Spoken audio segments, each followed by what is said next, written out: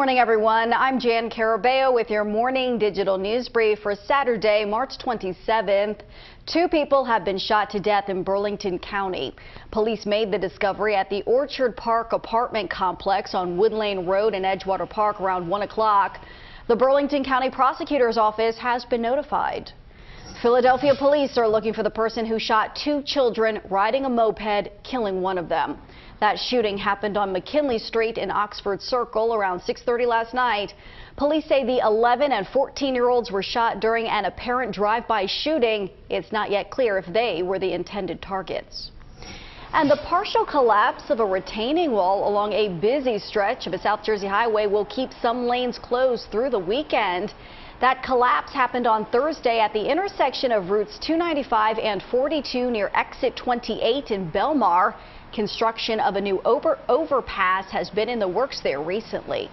Now to the eyewitness for the forecast. Here's meteorologist Matt Peterson. Hi, Matt. Hey there, Jan. Going to be a good one for us. Our Saturday today, a great spring afternoon. 69 degrees in the city with plenty of sunshine, low humidity, nice quiet winds. Down the shore, a little bit cooler, 60 degrees there, 61 in the Poconos. But again, with plenty of sunshine, we're going to call it a great day in the Pocono Mountains. Overnight tonight, clouds start to increase. Our temperatures stay pretty mild as well, for the most part in the uh, low 50s as we start to get ready to prime the area for some chances for some showers and some thunderstorm activity as we head through the day tomorrow. So let's jump ahead to Sunday morning. This is 5 a.m. Showers already developing across the region. We're going to even see the chance for some brief pockets of heavier downpours here through Sunday morning, 10 a.m. Even a rumble of thunder could be possible. Then we'll get a little bit of a break in the action as we get from about noon to 4. But during that time, what we'll see is the atmosphere really start to prime itself. It's hot.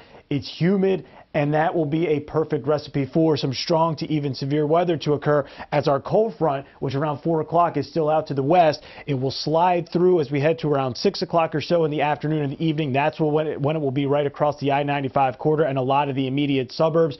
During that time, strong gusty winds and heavier downpours will be likely. That front gets down towards the Jersey Shore and clears the coast as we get into the evening. When it comes to severe weather chances tomorrow, yes, we do have some.